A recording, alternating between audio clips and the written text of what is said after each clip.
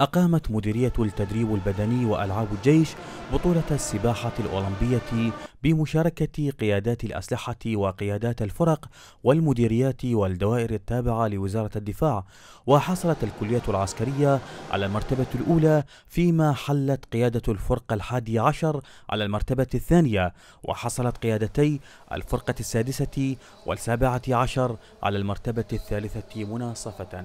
كان عندنا بطولة الجيش للسباحة المنظمة تقيمها مديرية التدريب البدني والألعاب الجيش.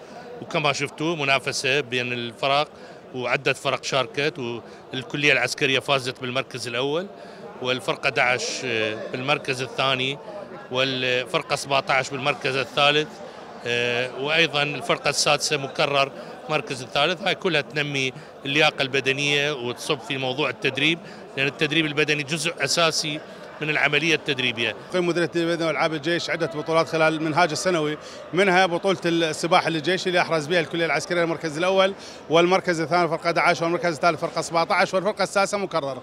هاي البطولة لها فد مغزى كبير جدا لرفع المستوى اللياقة ومستوى الأداء في القوات المسلحة. وأقيمت منافسات البطولة التي حضرها معاون رئيس أركان الجيش للتدريب وعدد من الضباط في مسبح الكليات العسكرية الرستميه وقسمت الفرق ثلاثة فئات قادة وأعوان ومراتب واستعين بلجنة تحكيمية مختصة لاحتساب نقاط الفرق المشاركة. اليوم عندنا مشاركة من قبل الكلية العسكرية في هذه السباق اللي هو السباحة الأولمبية للجيش واللي شاركت بها عدة فرق على مستوى القوات المسلحة الفرق الفرق العسكرية. حصلت الكلية العسكرية على المرتبة الأولى على كل الفرق المشاركة والكلية العسكرية آه، دائما سباقه في إقامة الدورات لغرض ترفع مستوى التدريبي لطلاب الكلية العسكرية. اليوم نظمت مديريه تدريب البدن والعاب الجيش بطولة السباحة الأولمبية لكافة وحدات الجيش من قيادة الأسلحة والفرق والمؤسسات التدريبية. مثل ما شفتوا أكو منافسة شديدة ما بين الوحدات تمخضت البطولة عن فوز الفرقة الكلية العسكرية الأولى بمجموع 50 نقطة والمركز الثاني الفرقة الحادي عشر جمع 46 نقطة.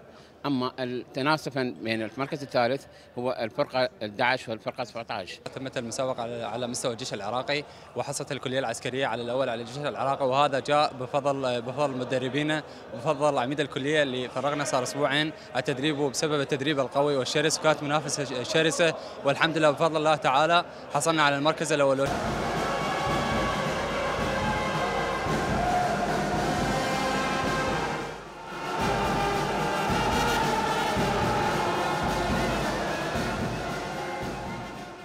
لطالما أنجبت الرياضة العسكرية العديد من الأبطال الذين رفعوا علم العراق عاليا بمختلف المحافل الرياضية ها هي اليوم تستعيد رونقها للحفاظ على الإرث الرياضي العسكري من مقر الكلية العسكرية في بغداد لإعلام وزارة الدفاع أيوب الصافي.